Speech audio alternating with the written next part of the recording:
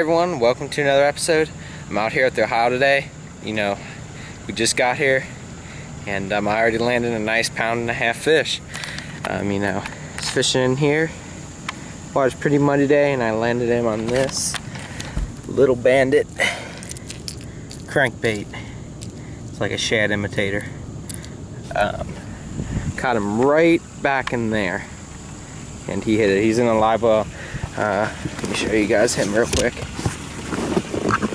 He's not a huge fish, but he's a pretty good fish. You know, pound and a quarter, pound and a half.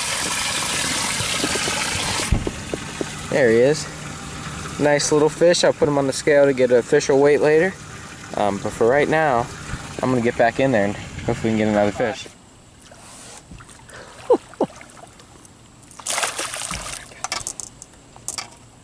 there he is. Oh About- my gosh. About three and a quarter. Yeah, he's not. Yeah.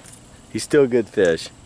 Yeah, just a little bit excited, but still a good fish. Well, when he turned in that muddy water, he looked big, didn't he? Oh yeah. On that same crankbait, chartreuse crazy, good fish to start the day. Um, we just catch the bigger fish right now here at on these crankbaits, so you know he's got a he's pretty fat, but the, his head's just a real big head for the fish. So.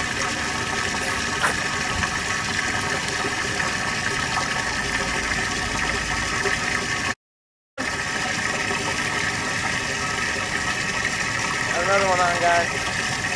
Man, they're stacked. Up another There he is. Woo! Man, that's two cans, two fish. Right there for you guys. Not abandoned. Got another one he might keep. I think he will. He's just barely gonna keep, I think. Let me see here. Oh yeah. 12 and a quarter. Look at this all the way down there 12 inches. Put him in the well for another picture. All right guys i got a nut the biggest one of the day definitely. I cast it over the tree and I, he hit it on top hang on. This is funny. This is the biggest one of the day. Dude he's like a two pounder that's so weird. I've never had that happen before. Crap. Oh, I don't know how i'm gonna get him. That guy's got another one on. We're killing him tonight. That's the biggest one. you- Oh, look That's at good one. him. Man, he's beat up. We're catching a lot of nice fish tonight on these crankbaits. Um, you know, just I talk about a lot, but just because it works so good, just bouncing off a riprap. That one is beat up. It almost looks like you just got off the bed. So. All right, everyone. Um, we came down here to these bluff rocks and everything. We've never tried it before. And um, I jumped a little smallmouth. He wasn't a keeper though. And then we fished a creek up here. I didn't get it on camera, but I caught a little like 12 and a half incher on a um, little jig. So we're gonna run up where I caught those um, nicer fish earlier today. And um, hopefully we can get on a couple before we get out of here. So stay tuned guys. I hope you're enjoying the episode.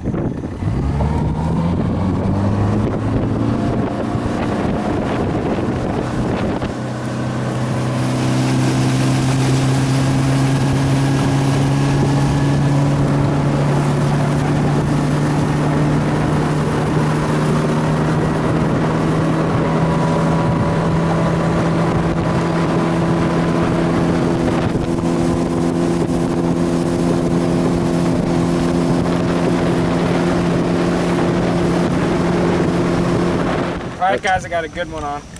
He might be. Oh, yeah, he's a big one. He he's one of the biggest ones we ever got in the river. Oh my goodness. I haven't got a good look at. it.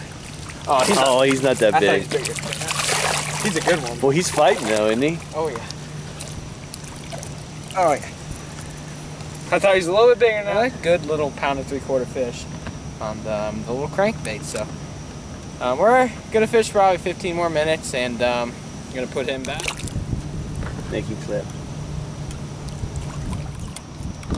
We caught most of our fish on the um, just this little bandit squirrel. This is just a little, a little, just a shad cunt. It's got a little bit of like white splatter, uh, not really a splatter back, but just a um, little bit of white on the back, and um, just a little bit of pink on the lip. And that's just the bait I've been catching on. Cranking it on 15 pound fluoro, just because I've been cranking mostly through wood and rock tonight. Most of the fish have been on wood, but um, you know, just I keep the a little bit heavier line on there just so even if I get a big one, he won't break me off. So, you know, just, I talk about a lot, but just throwing up in the wood and just bring it on back and you'll feel that crankbait ticking along all the wood and um, you'll just feel a fish grab a hold of it. So um, the, one more technique that I caught a couple, I think I caught one or two on them, is just throwing a little jig up there. Same kind of deal, um, just that difference is you're just getting probably the less active fish. So, you know, just a little 3 8 ounce bitsy flip and um, you know just a Paca Chunk on the back. And same kind of thing, you just find the, um, the wood, just flip up in the wood and I just let sink on the bottom and I just bring that jig back really slow and hit feel that wood and you just feel that just pick it up. So that's just how we were catching them tonight. Hope you guys enjoyed the video. I'll see you next time.